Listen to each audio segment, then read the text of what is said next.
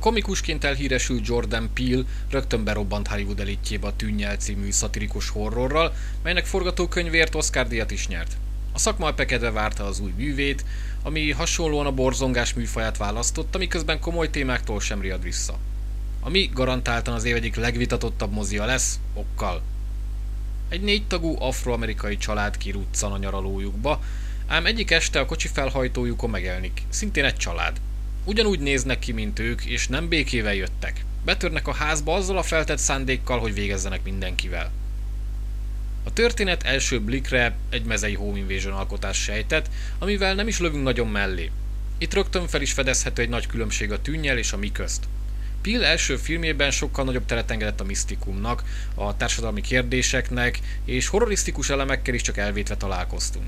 Ezzel szemben második rendezésében eléggé drasztikusan követi a zsáner szabályait, és sokkal inkább egy klasszikusabb értelemben vett horror thrillerrel van dolgunk. Megvannak az apró butalások arra, hogy az összkép sokkal komplexebb, mint elsőre látszik, de a cselekményvezetés a bevett normákat követi. Az első harmad tipikus expozíció, melyben megismerjük a családot, ahol az anya figurája kerül a középpontba. Múltbéli traumától szenved, nem találja önmagát, ami természetesen össze lehet majd később kötni az eseményekkel. Bőfél óra elteltével indul a horror szegmens, mely hozza az elvárható szintet. Bill komikusi mi voltát most sem hazudtolja meg, de akkor is elsütött egy-egy point, amikor nem kellett volna. Az abszurd humor sokszor működőképes és helyenként meglepően vicces a film, de amikor kétes szituációban hőseink például arról kezdenek vitatkozni, hogy ki ölt többet, hát az azért elég röhelyesnek és illogikusnak hat. Szerencsére ezekből van kevesebb. A direktor a feszültséghez és az atmoszféra teremtéshez már sokkal hatásosabban nyúl. Ami bár ezen a fronton nem újít műfaj, de kellően izgalmas és nyers ahhoz, hogy fenntartsa a figyelmet. Az utolsó harmadban aztán lehull a lepel, Pill felfedi a kártyáit, és itt fogja elveszteni a legtöbb nézőt. Nem faszméregetésként, de a végső csavart nagyjából negyed óra után kitaláltam, és ki is lehet találni. Ehhez képest viszont a későbbiekben kicsit túlságosan is szabad kezet kapunk az értelmezéshez. A megoldás rengeteg kérdést felvet, amire nem kell választ adni, azonban nincs elég aprólékos és kidolgozott ahhoz, hogy teljes egészében összeálljon.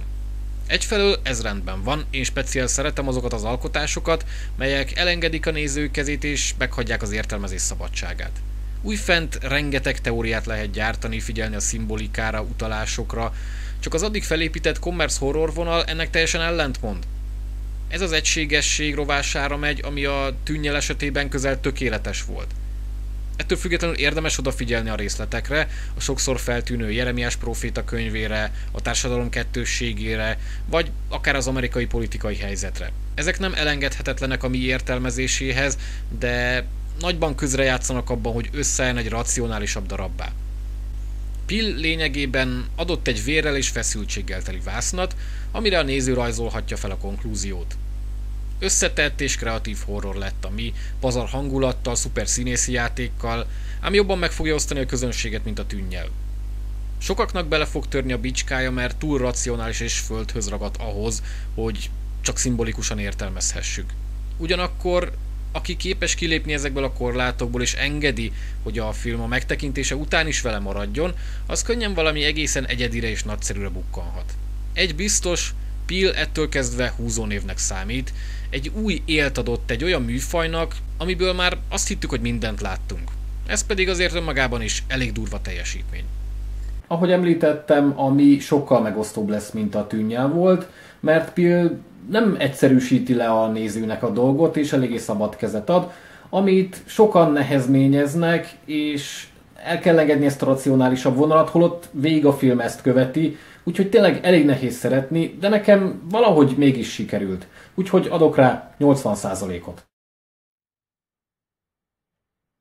Ennyi lettem volna, ha tetszett a videó, akkor lájkolj és iratkozz fel, ha gondolod, kövess Facebookon vagy Twitteren, a linkeket megtalálod a leírásban, aztán legközelebb találkozunk.